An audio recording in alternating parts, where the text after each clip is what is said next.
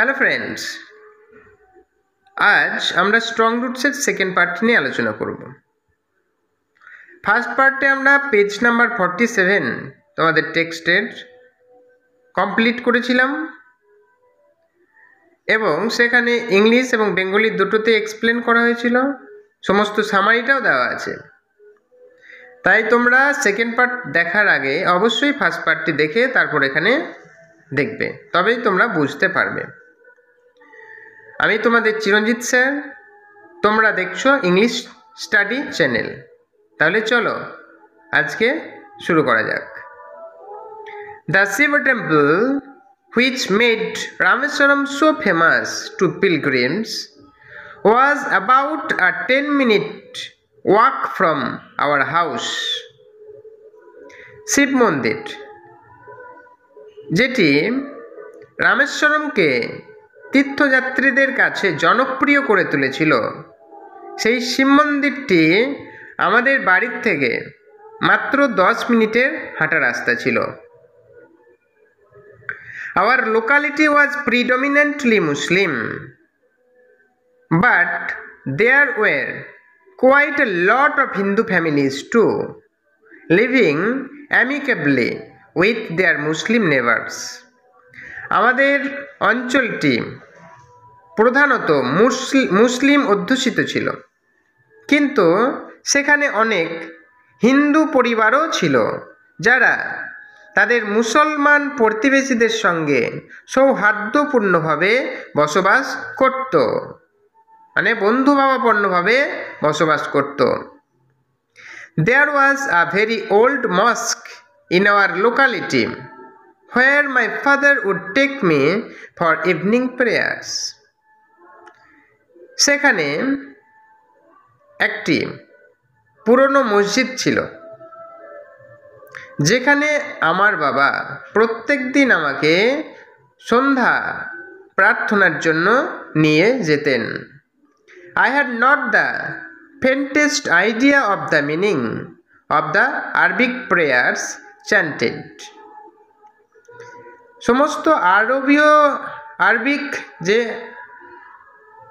Arabic ভাষায় যে সমস্ত প্রার্থনা পড়া হতো, সেই সমস্ত অর্থের ব্যাপারে আমার একটুও ধারণা ছিল না।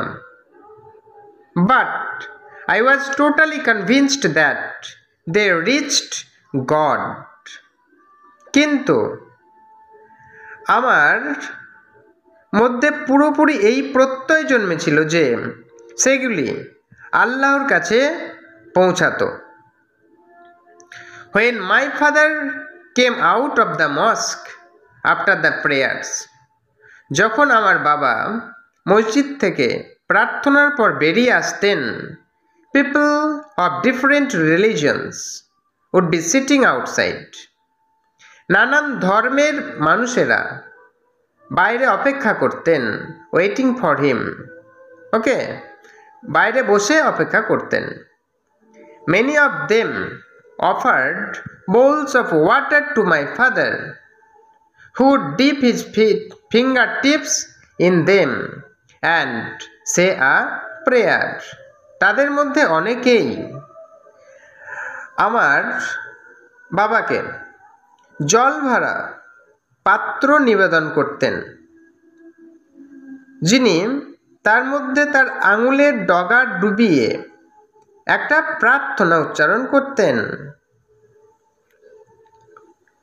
This water was then carried home for invalid তারপর এই জলটা বাড়িতে পঙ্গু অথবা দুর্বল ব্যক্তিদের জন্য নিয়ে যাওয়া হতো।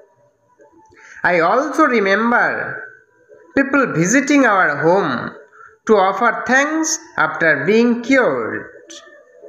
আমার এও মনে পড়ে যে লোকজন সেরে ওঠার পর আমাদের ঘরে আসতেন ধন্যবাদ জানাতে father always mild and আক্সড them to thank Allah the merciful বাবা সবসময় হাসতেন আর বলতেন, আল্লাহকে ধন্যবাদ জানাতে, যিনি করুণাময়। বোঝা গেল? তাহলে এটা তোমাদের আজকের এই ফার্স্ট প্যারাগ্রাফের মিনিং তাহলে চলো ইংলিশে একটু বোঝা যায় there was a Shiva temple in Rameswaram that was very famous to the pilgrims. And that's why Rameswaram was also became famous to them. And to reach the Shiva temple, it took only 10 minutes walk from Kalam. Their locality was mostly inhabited by Muslim families, but there were a lot of Hindu families too, who lived with their Muslim friends or Muslim neighbors amicably or with great friendship. And there was a very old mosque in their locality where his father used to take him for evening prayers. But Kalam didn't have a little bit of knowledge about Arabic prayers that was chanted for the evening prayers. But he came to realize that those prayers reached God. When Kalam's father came out of the mosque after prayers, a lot of people from different religions would wait for him for their waters to be chanted for the invalids. And Kalam also remember that some people used to come to their house to thank his father because their invalids were cured by the water that was chanted by Kalam's father. And father means Kalam's father always smiled and told them to thank Allah the merciful okay তাহলে এই সামারিটা তোমাদের স্ক্রিনে আসছে অবশ্যই, তোমরা লিখে নাও। তোমাদের question answer করতে সুবিধা হবে। যে কোনো কোশ্চেন তোমরা অ্যান্সার করে ফেলবে। The high priest of Rameswaram temple Pakshi Lakshmana Sastry was a very close friend of my father's Rameswaram মন্দিরের প্রধান পুরোহিত পক্ষী লক্ষ্মণ শাস্ত্রী খুব ঘনিষ্ঠ বন্ধু ছিলেন কালামের বাবার আমার বাবার বলতে গেলে কালামের বাবার one of the most vivid memories of my early childhood is of the two men is in traditional attire discussing spiritual matters আমার প্রথম শৈশবের সব থেকে সুস্পষ্ট স্মৃতিগুলির মধ্যে একটা হচ্ছে ওই দুজন মানুষ যারা নিজ নিজ চিরাচরিত বা ধর্মীয় পোশাক পরে আধ্যাত্মিক বিষয়ে আলোচনা করতেন। When I was old enough to ask questions যখন আমি অনেক বড় হলাম, প্রশ্ন জিজ্ঞাসার মতো বয়স হলো I আক্সড my father about the relevance of prayers আমি বাবাকে জিজ্ঞাসা করলাম প্রার্থনার প্রাসঙ্গিকতা নিয়ে। My father told me there was nothing mysterious about prayer আমার বাবা বলেছিলেন যে প্রার্থনার মধ্যে কোনো আশ্চর্যজনক ব্যাপার নেই। Rather prayer made possible a communion of the spirit between people বরং প্রার্থনা লোকজনের মধ্যে আত্মার আদান প্রদানকে সম্ভব করে। When you pray he said তিনি বলেছিলেন, যখন তুমি প্রার্থনা করো ইউ ট্রান্সেন্ড ইউর বডি তুমি তোমার দেহকে ছেড়ে ছেড়ে চলে যাও। And become a part of the cosmos এবং এই বিশ্ব ব্রহ্মাণ্ডের একটা অংশ হয়ে ওঠো। Which knows no division of wealth age caste or creed যেটা ধন সম্পদ, বয়স জাতপাত অথবা ধর্মমতের বিভাজন জানে না। বোঝা গেল? এই প্যারাগ্রাফটা? তাহলে এটার ইংলিশ এক্সপ্লেন যদি করো ইংলিশে সামারি লেখো, তাহলে কি হবে? The name of the high priest of Rameswaram temple was Pakshi Lakshmana Sastry and he was a very close friend of Kalam's father.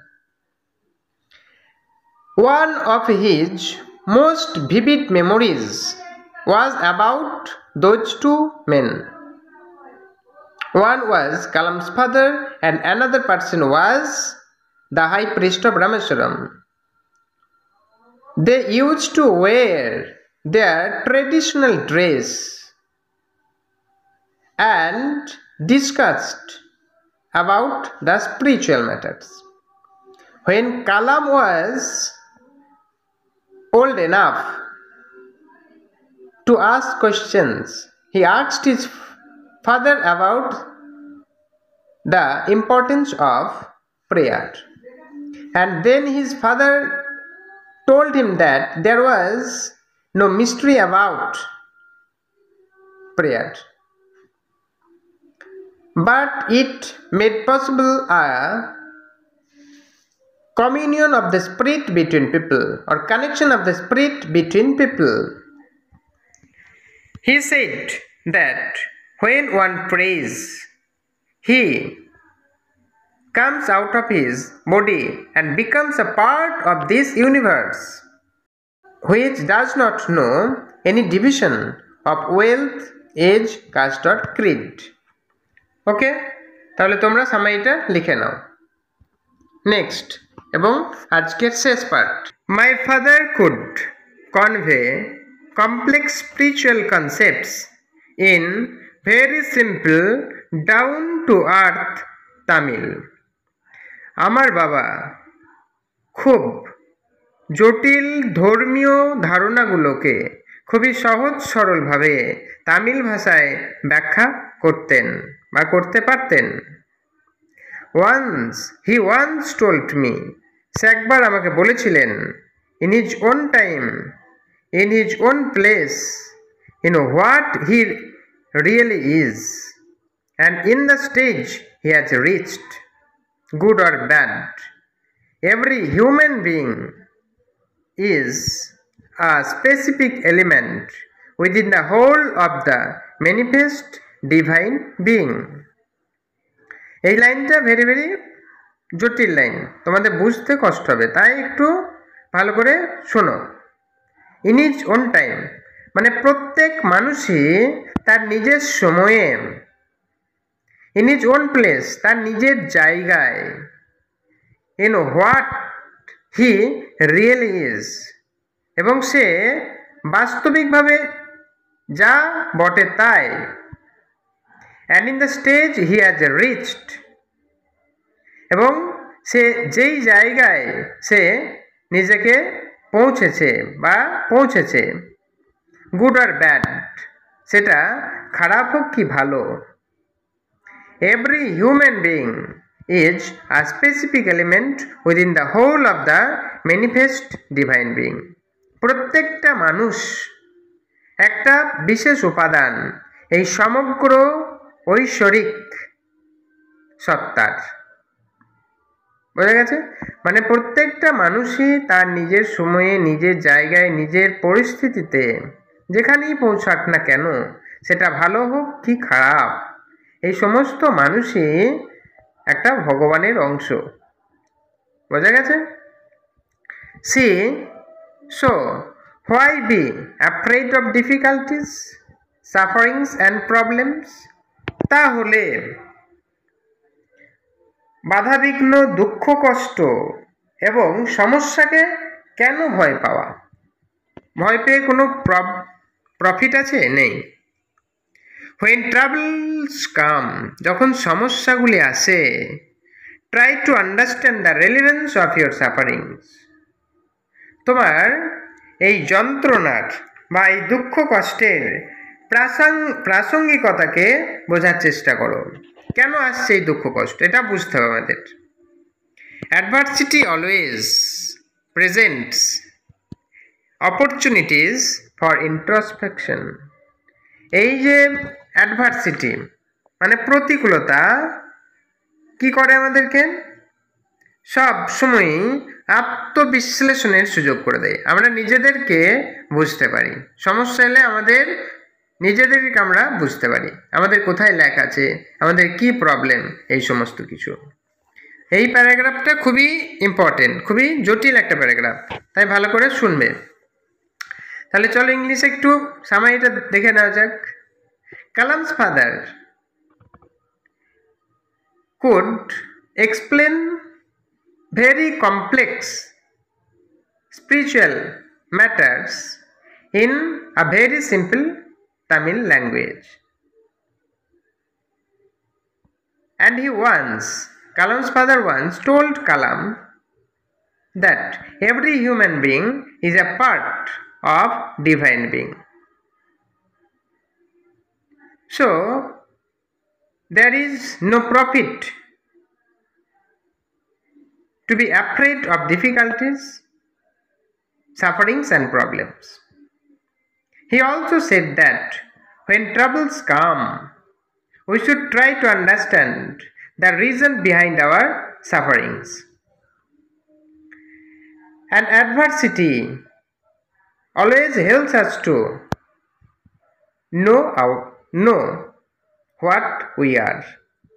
Okay? তাহলে এই পর্যন্তই আমাদের আজকে শেষ করলাম তোমরা প্রত্যেকটা সামারি লিখবে এবং আমি পরে তোমাদের কোশ্চেন আনসারের একটা পার্ট আনব। ওকে শুধু সেখানে সমস্ত কোশ্চেন আনসার নিয়ে আলোচনা হবে। তাহলে ভিডিওটা দেখে যদি তোমাদের কাজে লেগে থাকে, অবশ্যই সাবস্ক্রাইব করবে শেয়ার করবে এবং কমেন্ট করে আমাদের পাশে থাকবে। চলো, সবাই ভালো থেকো। Thank you